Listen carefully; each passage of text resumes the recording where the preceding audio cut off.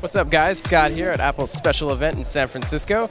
The talk of the show right now is iPods. The biggest news, of course, is the new iPod Touch, which adds an HD video camera, front facing camera so you can do FaceTime video chat, an A4 processor, and the Retina display, which you can find on the iPhone 4. The 8GB version starts at 229, while the 64GB version costs 399. In between, you can find the 32GB version for 299. The iPod Nano adds a multi-touch display to the mix, as well as a sleek and sexy new design that can actually clip onto your shirt for uh, you know the athletic types. Comes in an 8 gigabyte variation, a 16 gigabyte variation, and starts at $149.99.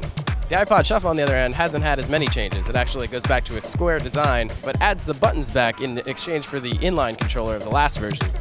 It'll start at $49.99 and be available next week. For all of the details of the new iPods, as well as the recently announced Apple TV, stay tuned to gear.ign.com.